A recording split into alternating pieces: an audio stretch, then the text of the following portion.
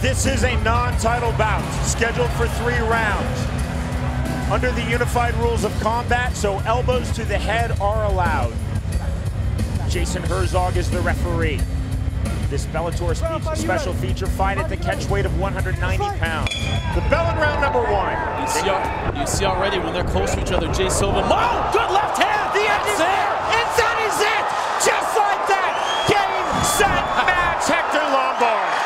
Pointing at us right now, he is yelling and pounding his chest. I don't want to be the guy who has to fight him. Wow!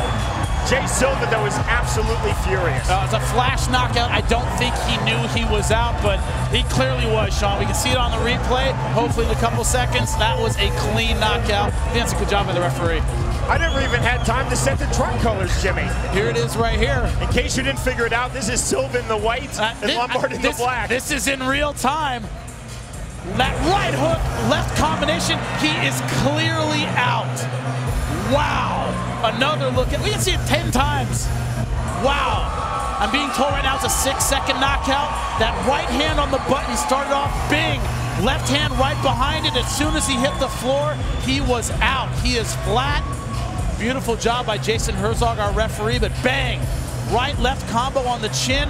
So powerful. Hector Lombard, he hits you, and it is good night. Jimmy, you and I have called two seven second fights. That is a six second fight. When we return, Jimmy Smith will speak to the victor, Hector Lombard. You are watching Bellator.